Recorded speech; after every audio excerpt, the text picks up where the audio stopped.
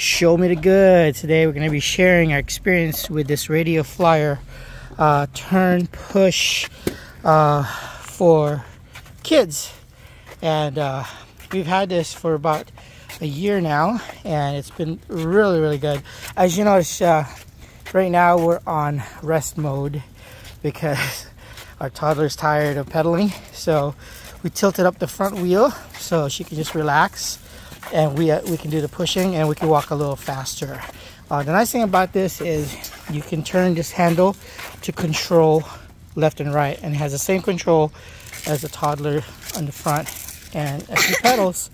She can also help the momentum of the tricycle or whatever you call this thing and uh, you can control it here. So now we're gonna lift it up so we can move a little faster. The rubbers are relatively soft and uh, it's lasted quite some time.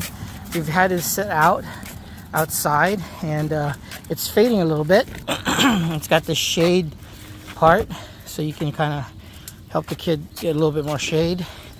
But uh, other than that, we've been satisfied with this radio flyer.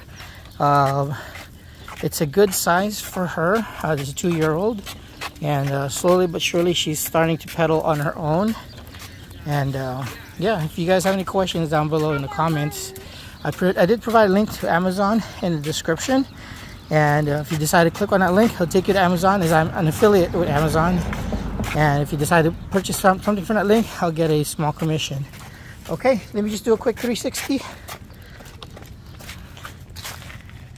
That's the look. This is the pedal. There's a cup holder here. And there is a, a place you can put extra storage right there.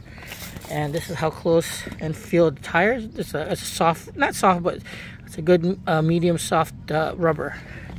And you can adjust the height on the handle here. All right that's about it. Thanks for watching